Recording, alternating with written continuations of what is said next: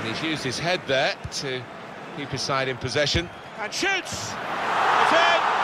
It's a great start for them. A wonderful goal. And we'll now have to see whether that will change both managers' approach to this game. We can see a slightly different viewpoint on it.